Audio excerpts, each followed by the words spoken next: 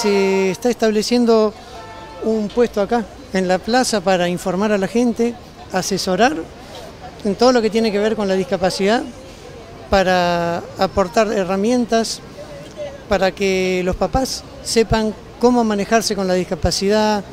Eh, estamos asesorando a las familias que se cruzan, que se acercan y bueno, informarles de las capacitaciones que estamos llevando adelante para docentes y bueno, todo lo que estamos haciendo en conjunto eh, con todas las áreas de discapacidad del municipio, ¿no es cierto? El tema es de nosotras de acompañar a esas mamás, a esos papás que recién llegan con un diagnóstico en mano y bueno, darles una ayuda en lo que es este, que sepan dónde hacer un certificado de discapacidad este, y bueno, de, apoyarlos en todo realmente lo que necesiten, en lo, emocional también, ¿no? Se pueden acercar a la Secretaría de Desarrollo e Integración Social, Colom 686, para lo que es tramitar el certificado de discapacidad y retirar los requisitos.